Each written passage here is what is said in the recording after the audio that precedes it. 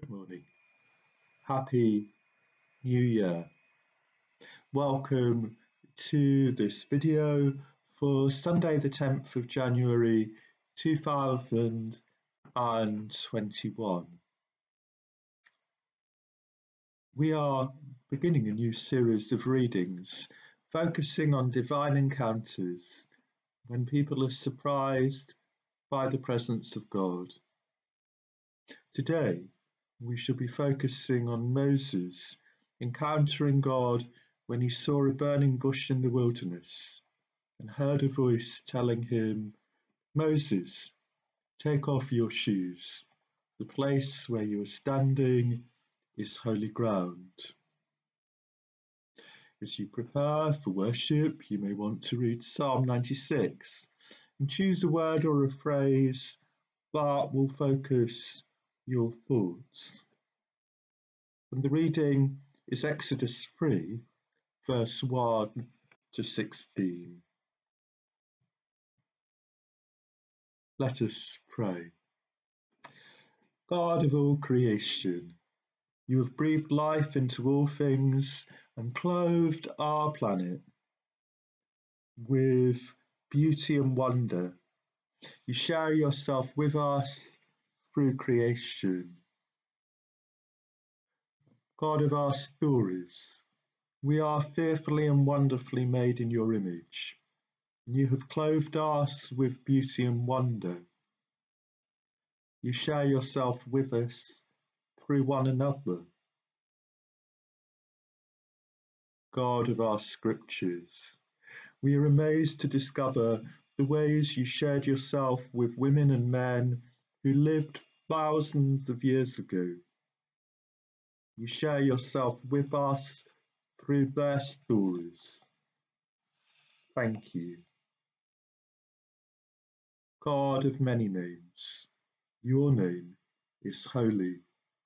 Teach us again to be confident of all that we know of you through Jesus Christ and to welcome your presence, recognizing that you are mysterious and beyond the power of our words, for you are the great I am.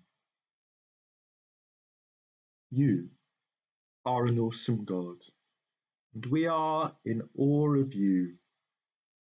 Through your Holy Spirit, renew within us that combination of wonder, awe, and respect that becomes worship, and clothe our hearts with your love through Jesus Christ our Lord.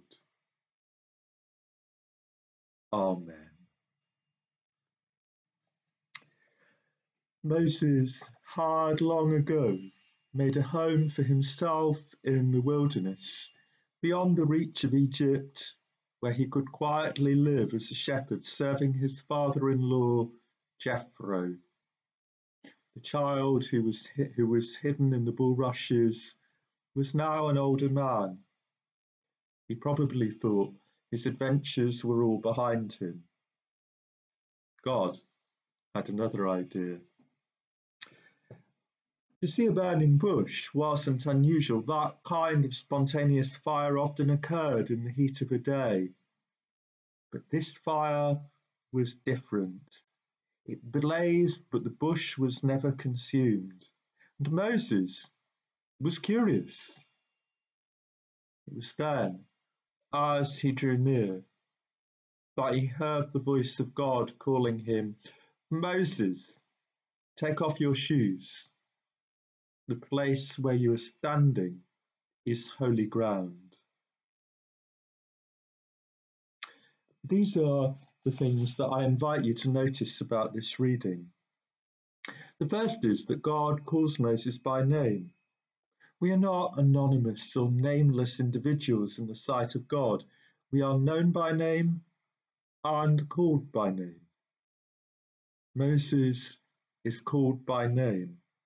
When someone calls your name, they recognize you as a person, and our names are precious.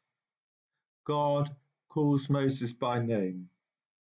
God calls you by name. He doesn't require ID or give you a number. God calls you by name. The second is that when God speaks, he invites a response. And Moses responds to God and says, Here I am, Lord. God doesn't ask abstract questions. His questions are personal and particular. When you hear God calling, how will you, uh, how will you respond? Here I am It's quite a good place to start. Your first response may not be in many words. It may be silence, it may be song, it may be what you do. Moses responds by taking off his shoes when God tells him this is holy ground. Sometimes we are a little shy of physical gestures, but these can be an integral part of worship too. Moses also covers his face because he knows he is in the presence of a holy God. Sometimes we may need to pause and give ourselves permission to experience wonder, awe, and even the fear of the Lord. This doesn't mean we should be afraid. The fear of the Lord is a combination of wonder, awe, and respect, a sense that God is very special and that we should never take him for granted. Moses knows there is no sense that he is equal to God, and with his body language he showed this. This will always be true. God, who is so much greater than us, also makes a promise, but one day we shall see him face to face. 1 Corinthians 13, verse 12. In the meanwhile, we can pray that the eyes of our heart will be opened that we may see the glory of God in all that he shares with us. The third thing is that when God first names himself, he says, I am the God of Abraham, Isaac, and Jacob. I love this because it shows that God is known through his relationship with people. The testimony of other people to the faithfulness of God can encourage all of us. We are invited to recognize the presence of God in their lives, even when their lives are full of mishaps, as Abraham, Isaac, and Jacob's were. This is remarkable because it would be easy to think God, in His holiness, is far removed from our everyday experience with all our pain and inconsistencies. But here God tells Moses something quite different. Your story is my story, for I knew and loved your forebears as I know and love you. I am their God, and I am your God. God saves, even though our lives may be muddy and muddled, by inviting us to a new relationship with Him through Christ. When we respond in obedience to His call, we give God the opportunity to weave our missteps and mishaps into his plan, just as he did with Moses, who was, after all, a murderer, a renegade from justice, and a man consumed by a hot temper when he was provoked. He is perhaps an unlikely hero, but even he was saved by the grace of God. The fourth is that when Moses asks who he should say has sent him, what name he should give, God replies, I am who I am. God gives himself a new name that had never been heard before. God replies, I am who I am, which is rendered Yahweh because the nouns are silent this is the name that is so holy. The Jews never spoke it and substituted the word Lord, which in our Bibles is usually spelt with capital letters, when it appeared in Scripture. There are several important things to say about this name. The first is that it's a dynamic name. It could easily be translated as I will be who I will be, or I am becoming who I am becoming. God is complete in himself and cannot be contained within human expectations or requirements. The second is that God refuses to be defined by any human idea. God can be defined by no one but himself because his name is self contained. As Isaiah and the prophets would assert, there is no one to whom God can be compared, no one at all. As Moses set off on his great adventure, risking all to challenge the authority of Pharaoh to demand that he set the people free.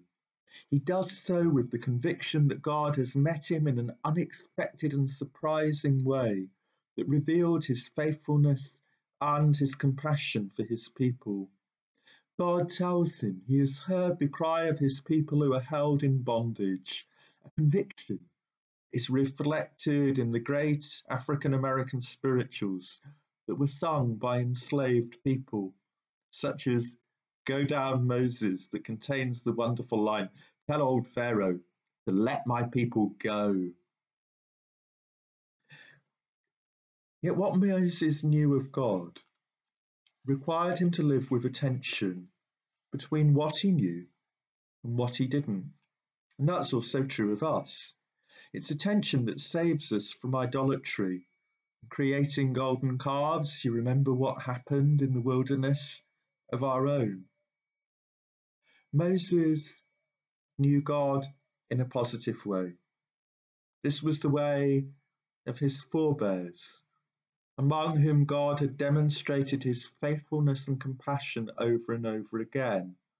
Despite appearances, he had never turned his back on his people. Moses knew this. But he also knew the God who spoke to him through the burning bush was utterly mysterious and greater than anyone could imagine. We can't make an image of him, as if we could capture his likeness and define him, as the Hebrews would later do, seek to do, with the golden calf. He is much greater than that.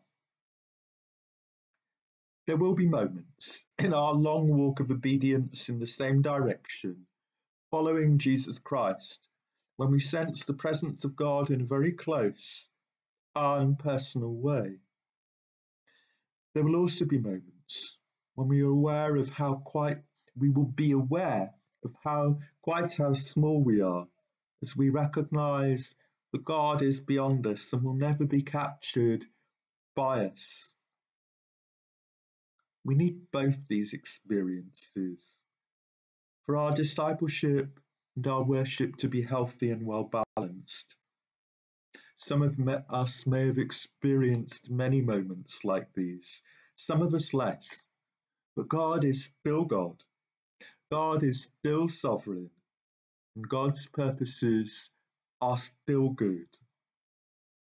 May we continue to grow in His grace as we enter the new year 2021, running the race marked out for us, as Gordon encouraged us to do in his pastoral letter last week.